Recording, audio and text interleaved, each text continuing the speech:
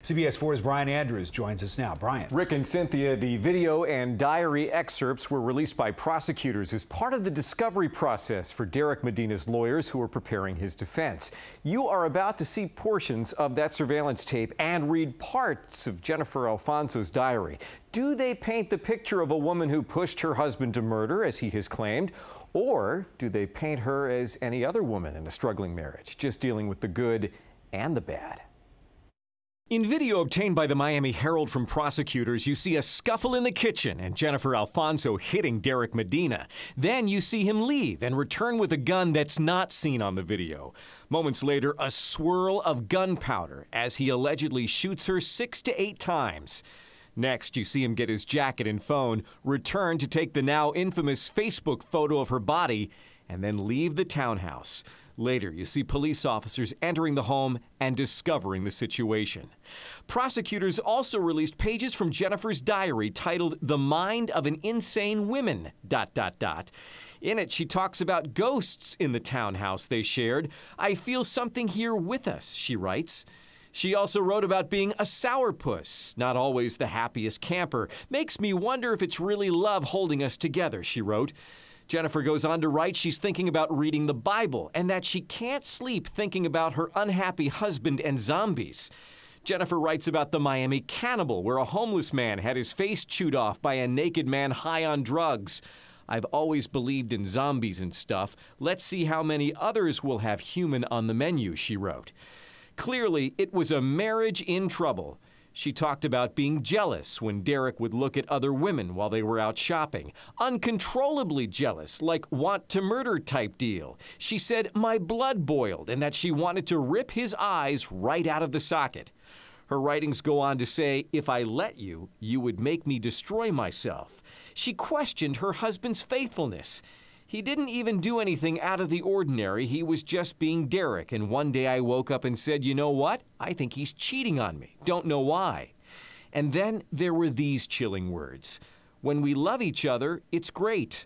But when we hate each other, we hate each other. Derek Medina has pleaded not guilty to second degree murder, but he faces indictment on first degree murder in the next few weeks.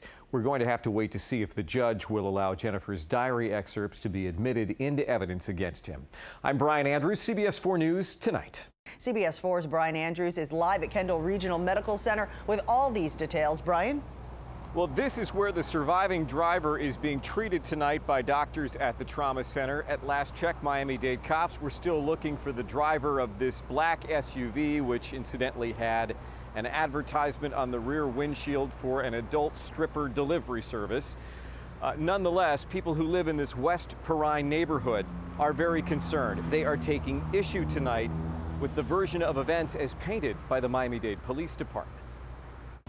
A mangled sedan, a crumpled SUV, evidence markers, police tape, and tears shed under umbrellas. Family members say Monica Patterson was killed in the accident. She was a passenger in the red sedan, struck by a black SUV. Police say they were surveilling in the area, not chasing. She just turned 55. Your mother? Yeah, she just turned 55. Does she have kids? Oh, yeah, she has five. Under umbrellas in the rain, Patterson's family dealt with the immediate aftermath and consoled each other. One relative falling to the ground in tears. A woman overcome with emotion, needing to be helped back to her feet. To me, the right questions that need to be asked is why was why wasn't no sirens on? Why they was while they was chasing another car? My mom is very lovely, and I def definitely wouldn't want to lose my mom to something like this. But Miami-Dade police say this was not a chase. Investigators do not believe any type of pursuit was going on prior to the accident. But witnesses are telling a different story. It was a police chase. The black unmarked cars. No siren, no lights, no nothing. It was a police chase. But the two black cars were chasing the big car. And they hit the uh, smaller car. It was two black cars, police officer. They never stopped. Witnesses also claimed the police ran after the people who got out of the SUV and never stopped to help the women injured in the sedan. Only thing I could do was just go over there and, and say a prayer. And one lady passed away. Unfortunately, we probably could have did more if they had to stop and see about the individual people that was hurt. So still tonight, a lot of questions. Was it a police chase? The police department says no. Others say it was. We have one woman who lost her life. We have another who is clinging to life here at the trauma center in Kendall. And somewhere out there is the guy behind the wheel of that black SUV. Reporting live from Kendall, I'm Brian Andrews, CBS 4 News Tonight. Thank you, Brian. Coming up.